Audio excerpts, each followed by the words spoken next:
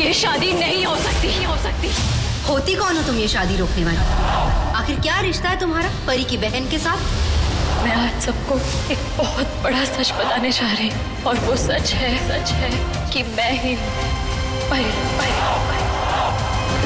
Parineeti serial में हमें आए दिन ट्विस्ट एंड टर्न्स देखने को मिलते हैं लेकिन इस बार जो ट्रैक आने वाला है वो आपको जब द सीट पर लाकर रख देगा। जी हाँ हम आपको बता दें कि इस बार कहानी में एक अनएक्सपेक्टेड मोड देखने को मिलने वाला है। एक नया प्रोमो सामने आ रहा है जहाँ पर हम देखने वाले हैं कि भाई इस बार राजीव और नीति मिलकर एक बैंक में जाने वाले हैं किसी काम के सिलसिले से। ये शादी नहीं हो सकती नहीं हो सकती। होती कौन हो तुम ये शादी रोकने वाली? आखिर क्या रिश्ता है तुम्हारा परी की बहन के साथ? मैं आज सबको एक बहुत बड़ा सच बताने जा रही हूँ और वो सच है सच है कि मैं ही परी परी।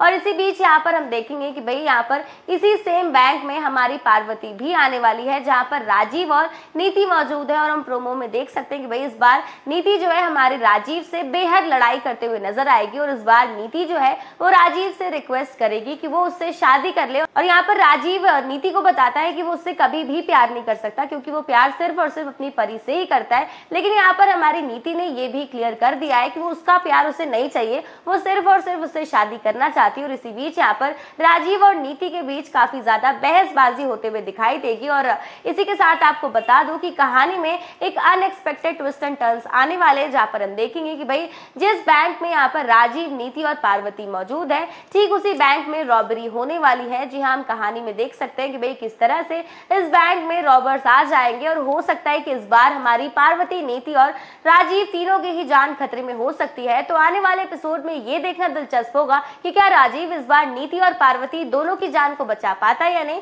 और फ़िलहाल एपिसोड में हमें देखने को मिल रहा है कि भाई यहाँ पर दलजीत और बबली की एंगेजमेंट सेरेमनी चल रही है और यहाँ पर हमारी पार्वती काफ़ी ज़्यादा टेंशन में है, क्योंकि उसे समझ नहीं आ रहा कि उसे ऐसा क्या करना चाहिए जिसकी वजह से ये एंगेजमेंट सेरेमनी को वो रोक सके। क्योंकि यहाँ पर पार्वती अपनी बहन बबली की ज़िंदगी को बर्बाद नहीं होने देना चाहती और और इसी के साथ एपिसोड में हम देखने वाले कि भाई हमारी पार्वती के सामने अब कोई भी रास्ता नहीं बचा है और कोई भी ऑप्शन नहीं है, जिसकी वजह से यहाँ पर पार्वती ने एक बड़ा फैसला लिया है। जी, आने वाले एपिसोड में हम देखने वाले हैं कि भाई इस बार पार्वती अपनी सच्चाई सभी घर वालों को बताएगी, जिसकी वजह से हो सकता है कि एंगेजमेंट रुक जाए। जी हाँ आपको बता दूँ कि इस बार पार्वती अपने मुँह से सभी घर वालों को बता देगी कि सच में पार्वती ही परी है।